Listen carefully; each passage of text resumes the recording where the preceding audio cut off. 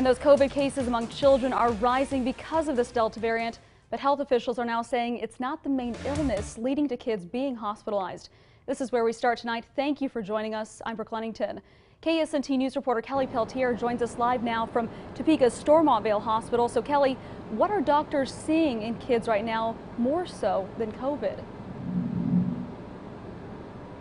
Dr. Fuad Medlige works here behind me on the pediatric unit at Stormont Vail Hospital. He says while they have had some kids here sick with COVID, he says mainly patients on his floor are because of RSV and rhinovirus. Both of those are respiratory illnesses that typically impact children two years old and younger. The vast majority of the patients we're admitting are rhinovirus and RSV and not COVID.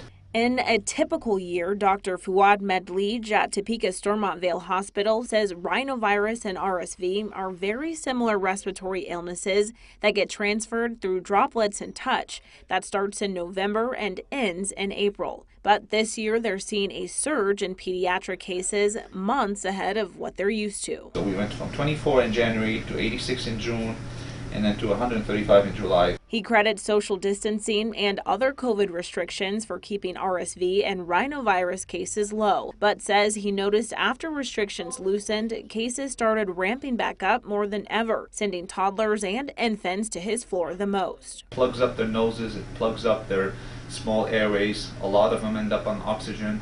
A bunch of them need suctioning around the clock. Some of them end up in the PICU. So far, he says COVID treatment in that age group has not been nearly as extensive in comparison to RSV and rhinovirus. According to the American Academy of Pediatrics and the Children's Hospital Association, just over 4 million children across the U.S. have gotten sick with COVID. That's roughly 14% of all cases. Out of those numbers, 0.1% to 1.9% of child cases resulted in hospitalization. 0% to 0.03% resulted in a child's death. Health organizations that contributed to the studies categorized a child ranging from 0 to 20 years old. Dr. Medlige says he's not brushing off COVID, but believes it's important people know it's not the only respiratory illness out there right now resulting in hospitalizations. We have to address the seasonal viruses, mostly RSV, because that's the one that